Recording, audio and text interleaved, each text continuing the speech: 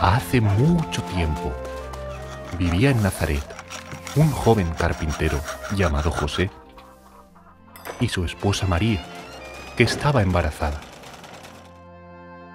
María y José sabían que el bebé que iba a nacer era el Hijo de Dios y que se llamaría Jesús, porque un ángel se lo había dicho a los dos. Aunque María iba a tener un bebé, los dos tuvieron que viajar a Belén, la ciudad donde José nació, cumpliendo una nueva ley del emperador romano. José estaba muy preocupado porque el viaje era largo y el bebé estaba a punto de nacer. En el camino conocieron a muchas personas que también marchaban a Belén, pero ellos caminaban más despacio para que María fuera más cómoda. Así que cuando María y José llegaron, ya era de noche, muy tarde, y todos los lugares donde poder dormir estaban llenos de gente.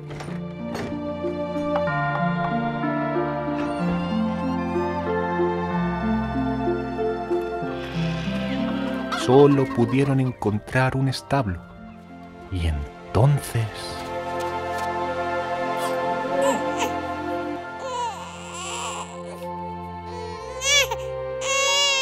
Esa misma noche nació el bebé Jesús y María lo colocó en un pesebre entre una mula y un buey para que le dieran calor. Un ángel avisó a todo el mundo y les anunció que esa noche había nacido el niño Jesús, el Hijo de Dios. Y todo el mundo se puso muy contento y fueron a verle y a adorarle. La buena noticia llegó a los tres reyes magos de Oriente, Melchor, Gaspar y Baltasar, que rápidamente montaron en sus camellos para también adorar al niño Jesús y llevarle sus regalos. Aunque no sabían el camino, una estrella los guió hasta donde Jesús nació.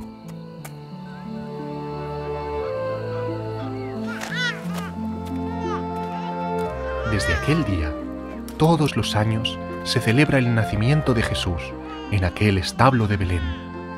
Celebramos la Navidad.